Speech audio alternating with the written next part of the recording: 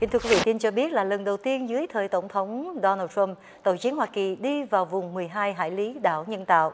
Khu trục hạm USS Dewey đã đi vào khu vực 12 hải lý của một hòn đảo nhân tạo, được Trung Cộng xây dựng ở Biển Đông.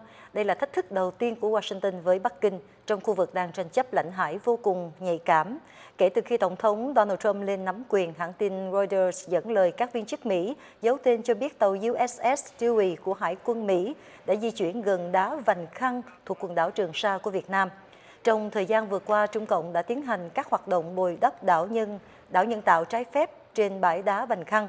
Hình ảnh vệ tinh mới được công bố gần đây cho thấy Bắc Kinh đã ngang nhiên xây dựng các công trình quân sự phi pháp trên bãi đá này.